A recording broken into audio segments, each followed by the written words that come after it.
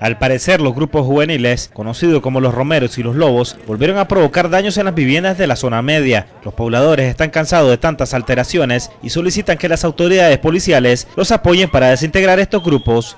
Pero el problema es de aquí es que los chavalos de aquí de este barrio se mantienen ahí en esa esquina, ¿verdad? Ahí, aquí, compartiendo entre ellos como la juventud, ¿ah? comparte, ¿me entiendes? Jugando fútbol.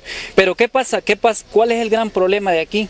El gran problema de aquí, de que vienen de otros barrios como el Oscar Arnulfo, eh, unos tales lobos, ¿me entiendes? Y entonces comienzan a tirarle piedra a las casas y nosotros como, como personas no los vamos a dejar que los dañen las...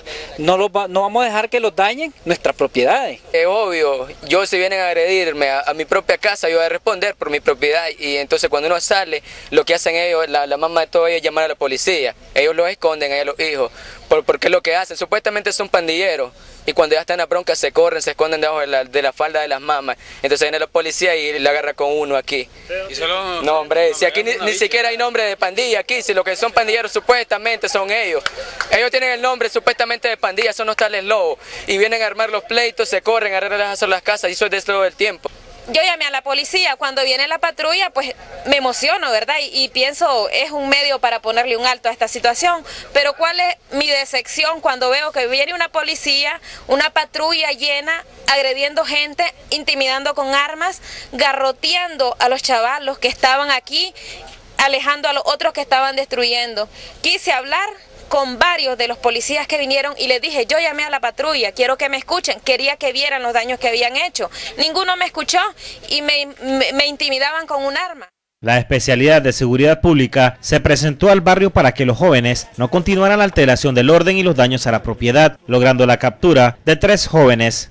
Al ver que la patrulla iba en persecución, pues estos comenzaron, pues agredieron eh, a los compañeros de la patrulla, igual manera, pues le realizaron algunos daños como escoraciones y daños a, la unidad policial cuando estos se estaban dando a la fuga. Pero sí se capturaron algunos jóvenes vinculados en este tipo de actividad, el cual pues en la actualidad este, van a ser procesados y van a ser pasados a la orden de la autoridad competente para que paguen de acuerdo a los daños realizados y fuera de eso pues este eh, por la alteración al orden público. La policía trabajará con los pobladores de la zona media para conformar la vigilancia comunitaria y hablar con los padres de familia de los jóvenes en conflicto para que tomen el control de sus hijos.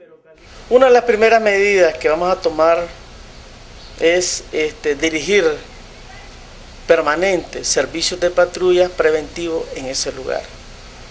Casualmente el día sábado se nos dio una alteración, el día domingo eh, mandamos permanente las 24 horas una patrulla motorizada que estuviera de cara a eso ese lugar y tratamos pues, de disminuir. Y esas son las medidas que se orientaron para el día de hoy, eh, que una, una patrulla policial permanezca las 24 horas del día y para estar eh, controlando y evitar que estos jóvenes eh, se activen.